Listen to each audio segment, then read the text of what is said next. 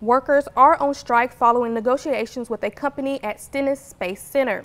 New WXXV News 25 Brooke Parker is live in the studio to tell us more about the situation. Brooke?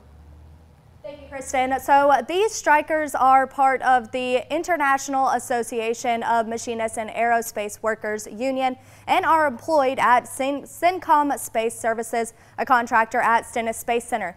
When it came time to renegotiate the workers' contracts at S3, the union wanted to make some changes. When S3 denied to make these changes, over 200 workers began their 24 7-hour strike late in the night.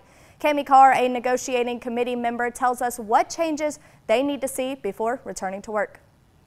We have a couple different issues with our past contract and moving forward into a new contract. Um, some discrepancies, if you will, and as it relates to workman's comp and what it means to be on workman's comp and still be employed or your work schedules when it comes to working 410s or working flex. Um, we have large issues. Um, a large amount of our workforce has issues within our insurance, um, constantly going up and by the time our wage increase hits, we're further in the hole than when we even started.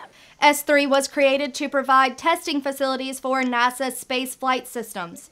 The union understands S3's relationship with NASA could be influencing the company's decisions, but workers are feeling like a true effort hasn't been made. There wasn't very mo much movement um, as to why these things couldn't be obtained, and it was because it's not obtainable. And no real justifications. Carr says nearly 90% of the company is on strike now. She hopes a resolution can come soon. This is hard on all of us. It's not something that we enjoy, um, that we want to do. It's not exciting. We're taking a loss and it's not fair. We're, we know most of our workforce, like I said, is seasoned. They've been committed to NASA for 25 plus years and it hurts to see NASA suffer because we're out here. Reporting live from where you live in Gulfport, Brooke Parker, WXXV News 25.